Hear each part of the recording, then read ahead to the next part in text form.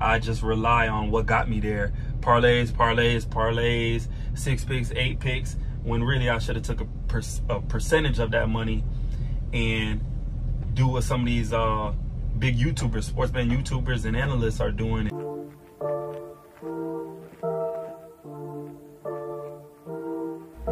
What's up, everybody? Good afternoon. Welcome to Calculated Shots.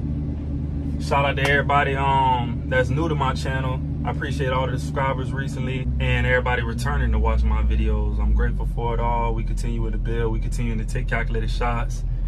Um, I'm at work right now. One of the grinds, one of the streams of income I use to put a portion into the sports band. I'm sure some of y'all doing the same thing.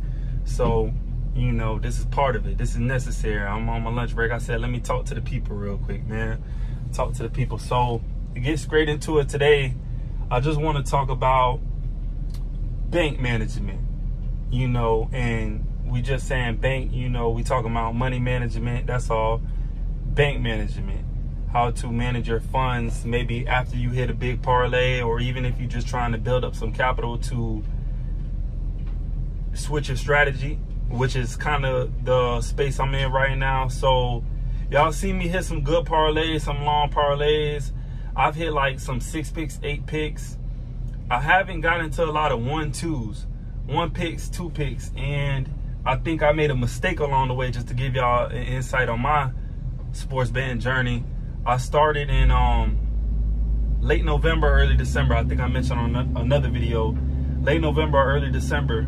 Anyways, I'm just infatuated with parlays, to be honest, which, you know, a lot of people on YouTube and some of them other guys, they're against that. And I understand why.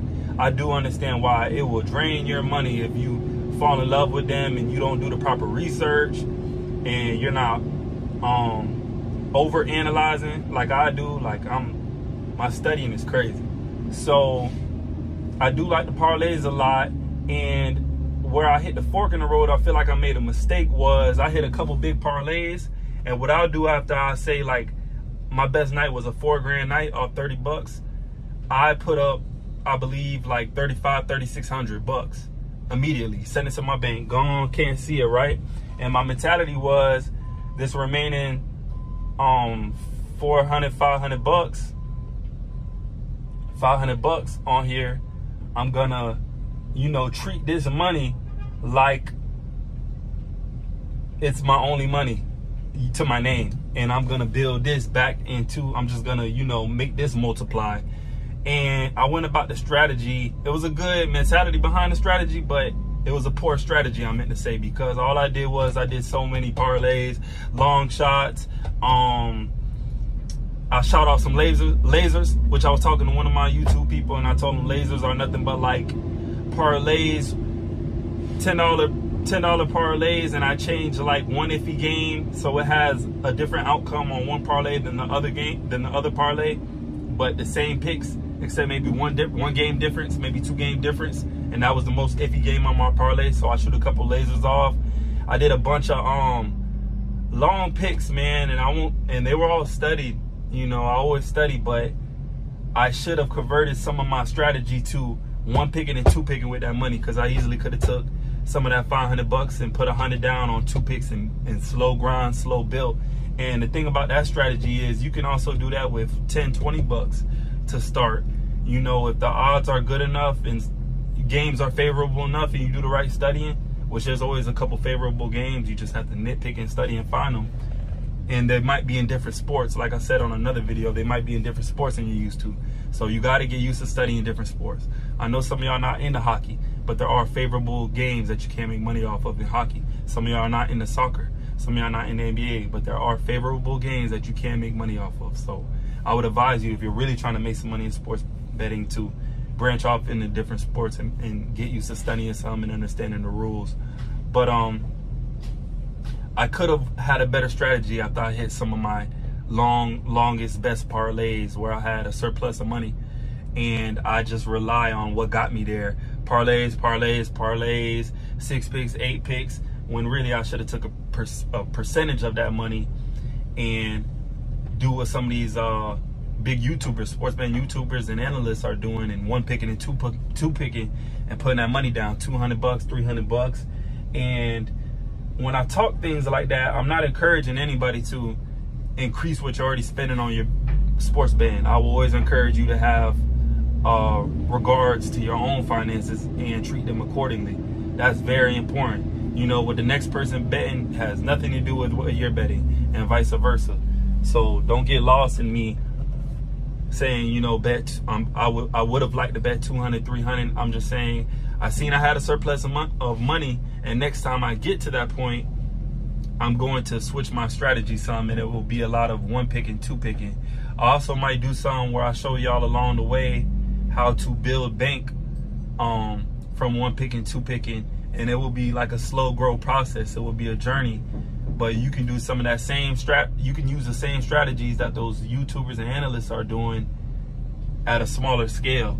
And yes it will take you longer to build up your capital but you will build up your capital most important.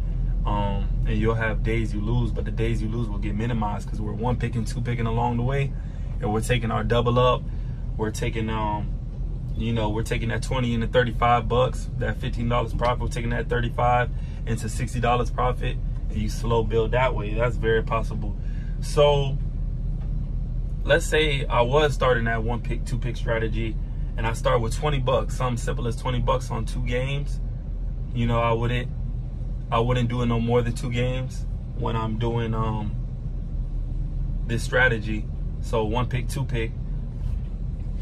I would whether let's say my two pick $20 brings me back 35 bucks, 40 bucks, and that hits clean the next day. I might bet that same 20 back.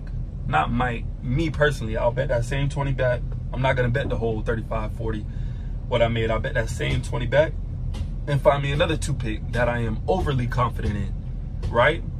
And then I will keep doing that until I have three times or four times my initial investment back in profit. So in that case, $20. So by the time I get to, let's say 80 bucks profit and I could still bet my 20 daily and I have 80 bucks profit, then I might branch off and, you know, add a game or two and do a $10 or $20 four pick that day and um, and mix my strategy some. But at the core of it, I'm still doing my $20 two pick daily or $10 two pick daily and taking that you know, 10 is gonna profit you a little less, might bring you back 25, but you profited 15 bucks and you, you, you invested 10. You know, that's great. So there are games that you can two pick your way all the way up, one, two picks, but it's harder when you don't have the proper capital. When I had the capital, I could have handled it way differently. But of course, there's lessons learned along the road. I never said I was a master. I do feel like I'm pretty seasoned with sports betting and I'm getting better. Now I know when I have I hit any kind of long parlay again, you know, I don't have to get lost in in uh parlays like I do because I feel like I can hit them. You know, that's why I get lost in them. I know I can and I have long ones. So, you know, one pick, two pick strategies are fine. You find you study, you find you two lock games, you put 10 or 20 bucks down and you do you take what you make and you do that the next day. You don't have to have multiple bets going on. Take your profit for the day. You profited 25 bucks for the day you know, you have 40 now, you bet 15, you have 40 now. Now you can come back and bet that 15 again. If you lose, you have a crutch because you still have some profit from the day prior. And you minimize your losses like that. You have a way better chance, astronomically better chance of hitting a two pick, one pick than a, a parlay. And I'm a parlay guy. I do like them, but just being honest with y'all. So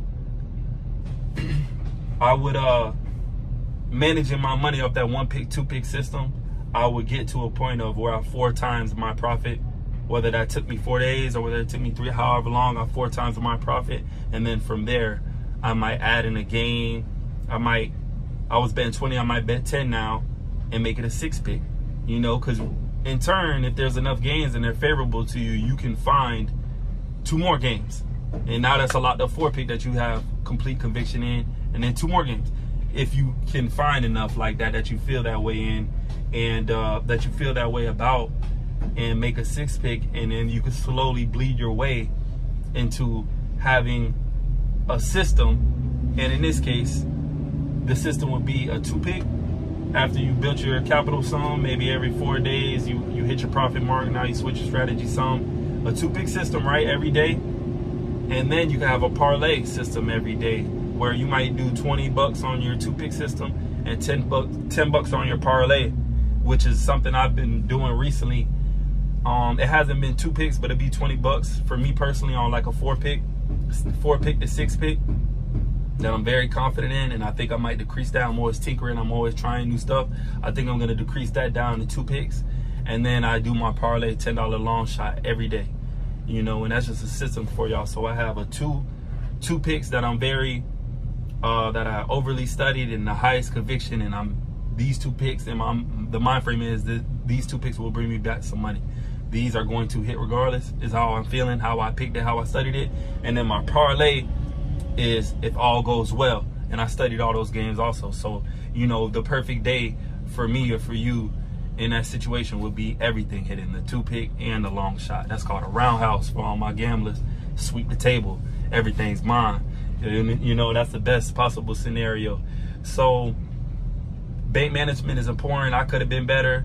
Uh, when you get to a point and you got some funds, you there will come a time where you probably should switch your strategy of whatever you're doing because if how much capital you have at the time affects what you can do and maybe how you should do it.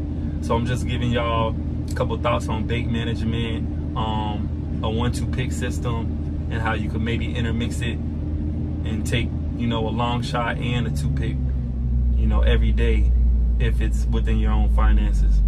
So just keep that, all that in mind. You know, you can always ask me any questions if I wasn't, you know, clear on anything, if I didn't clarify well. I appreciate y'all tuning in as always. Calculated shots. I'm out of here.